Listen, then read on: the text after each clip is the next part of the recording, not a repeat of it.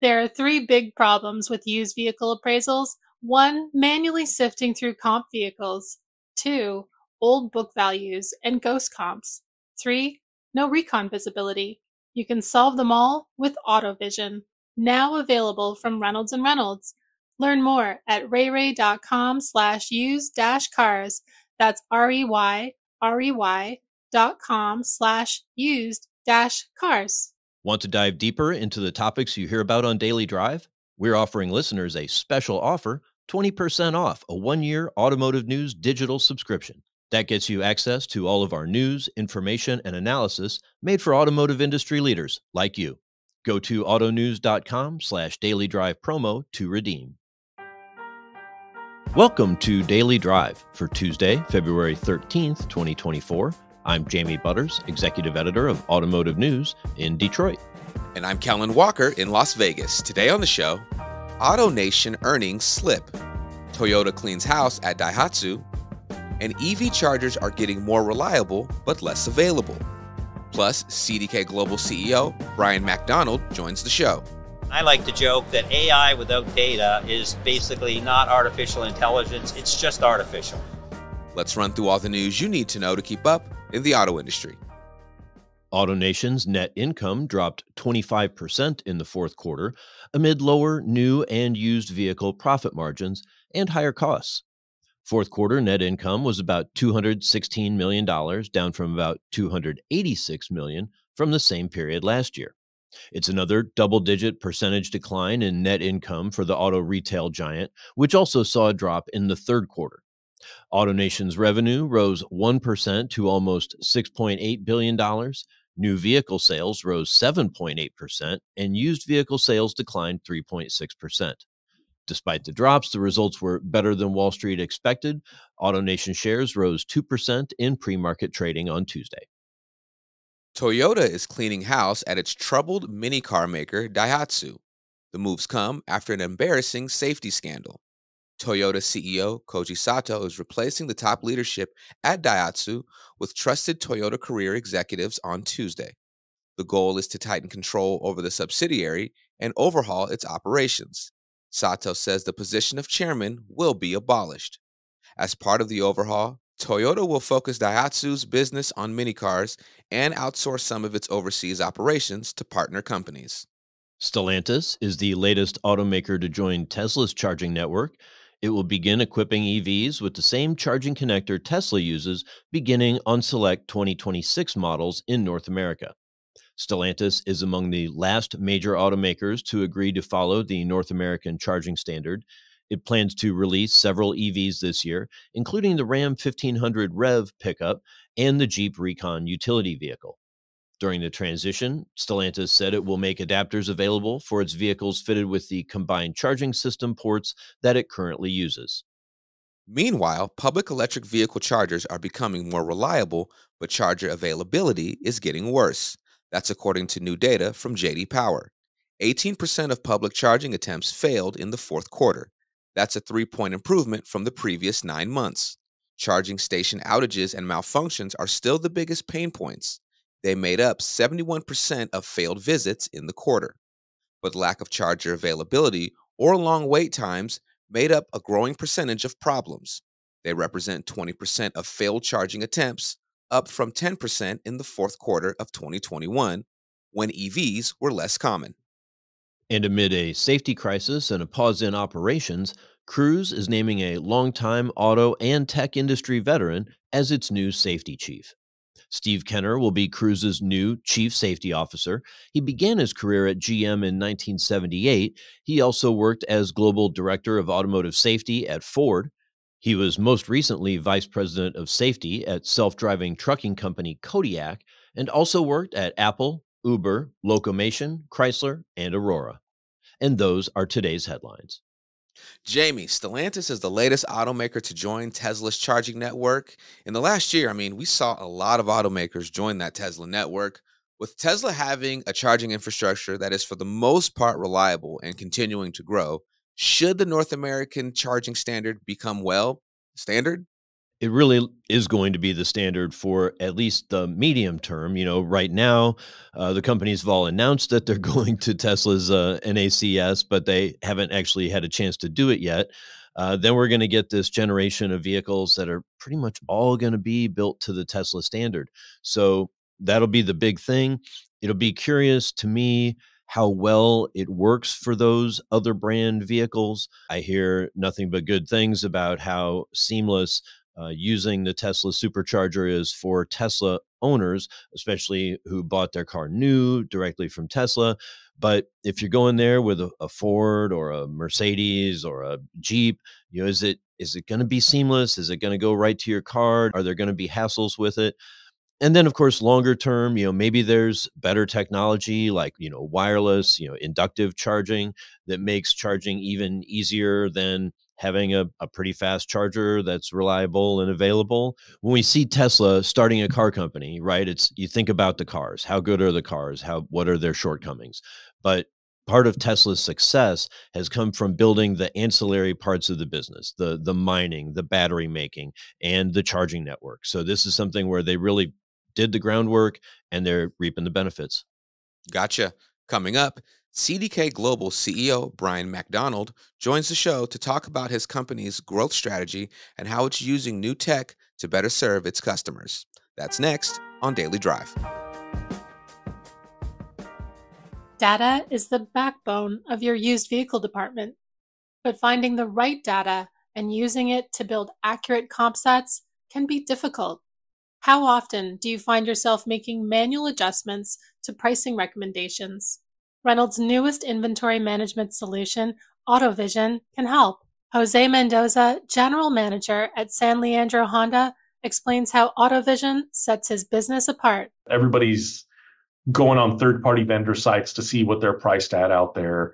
Everybody's uh, looking at auction data. Everybody's looking at transaction data if you can get it. So the only thing that that, that really is going to make it different for you is what you're selling them at. So I, I think you have to weigh that a little bit heavier than you do everything else. It doesn't matter if the market says you can sell this car for thirty thousand dollars if the last three you've sold have been at twenty seven.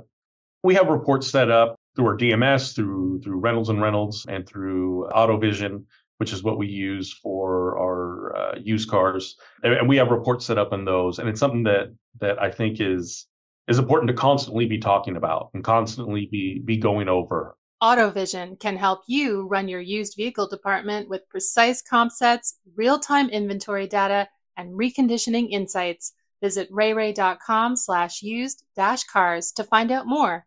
That's R-E-Y, R-E-Y dot com slash used dash cars.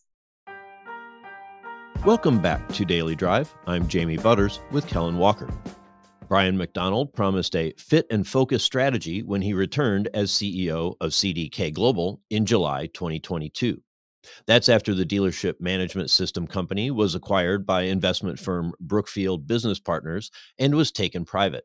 MacDonald's goal to make CDK more focused on innovation and provide better customer service. I caught up with MacDonald at the NADA show in Las Vegas to talk about how that strategy is working out, as well as how the advent of disruptive technology is affecting CDK's business. Brian MacDonald, welcome to Daily Drive here at the Automotive News booth at the NADA show in Las Vegas. Jamie, great to be here with you, and I really love the new booth this year. This is really fun. Great to have you back. So, what is your I'm, I'm opening up all these interviews with this question you know what is your message or your mission for this nada show yeah our mission for this show as it is for what we come to work and do every day is to help our dealers sell and service more cars mm-hmm. and do it as efficiently as they possibly can sounds pretty straightforward uh, i understand you announced a new product a virtual assistant tool um, what's cool about that well i think starting with the name uh, we, we call it ava but the spelling is A I V A, so it's artificial intelligence virtual assistant. Ah. And um, you know we'll, we'll have that in all our products. Um, actually, dealers will be able to white label it to another name if they want. If they don't like Ava, they can call it something else for their dealer group. but you know, there's there's obviously a lot of hype about AI and a lot of talk about AI. We've had AI in our products and machine learning in our products for a number of years, helping dealers um, understand propensity to buy, prospective services, add-ons, etc. But now with Ava, um, we're taking this to a whole new level. And I think what a lot of people misunderstand about AI is that um, it's really about the data. You know, Right. there's there's the, there's the tech, but it's really about the data. And I like to joke that AI without data is basically not artificial intelligence; it's just artificial. and so, you know, nobody has the robust data that CDK has as the system of record for 55% of the cars sold in North America and the system of record for 53% of the repair orders in North America. Hmm. Nobody has more rich data than us, and that's the capability we're bringing to our dealers with Ava to help them back to the core mission of selling and serving cars as efficiently as possible. Do you have any other uh, tech advances that you're showing or highlighting at this year's show? Yes, absolutely. We're showing our uh, Intelligent Suite, which is a brand new product which just came out a few weeks ago. We went into general availability. This is a really uh, a hot product for us. We had a dealer uh, look at it this morning who liked it, basically said, Send me the contracts, DocuSign them today. and then he actually brought back four dealers to look at the product and telling them, like, you guys should buy this product too. So it's, uh, it's really busy over there. We call it Intelligence Suite a whole new cloud-based, modern reporting tool, easy to use. We also have um, enhancements with our service scheduling and our fixed ops products, and of course, modern retail. And then lastly, a lot of our dealers are getting really the first chance to see our dealership experience platform, which we rolled out starting in uh, August.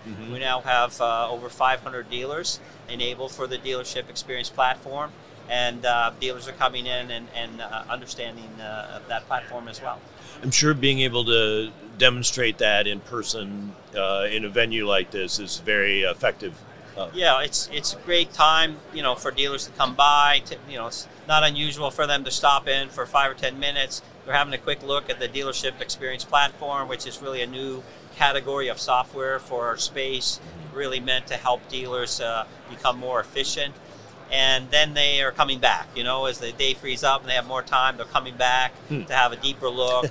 Oh, and then they're there and they're like, "Oh, look at this intelligent suite. Okay, I got I don't I got another meeting to go to, but I'll come back for that later." So it's great, you know. the- double dipping on yeah, the, look, the, it's what's great about NADA. You know, it's we're here, we're focused. The customers are here, they're focused, they're looking, and we get to see some old friends and faces, and it's a great way to connect.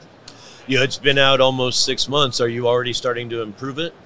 Oh yeah, well, we're working on uh, dealership experience platform DXP, we call it for short. Okay. um, every day.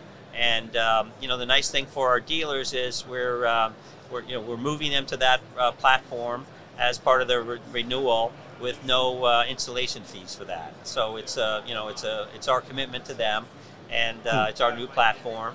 And uh, you know the reception that we've had since we rolled it out in August has been uh, super positive. Cool.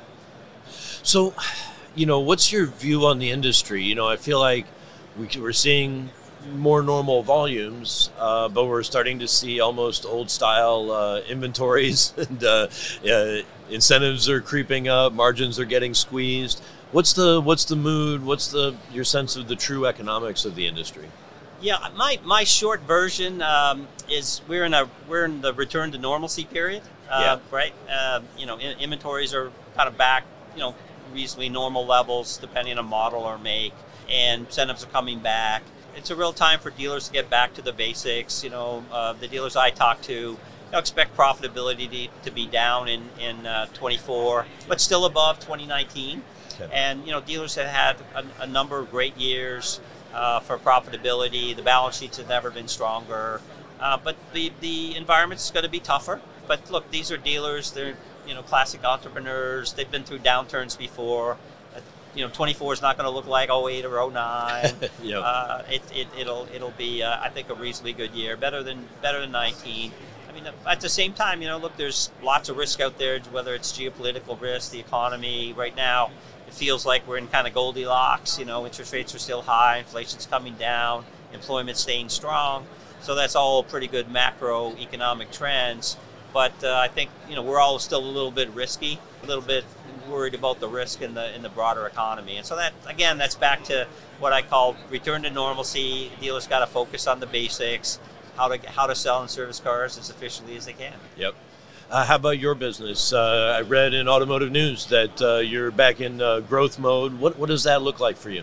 Yeah, so we're focused on growth at CDK. I mean, we're investing in our products, as I talked about, Intelligent Suite and the DXP and other enhancements. So we're really in a growth mode.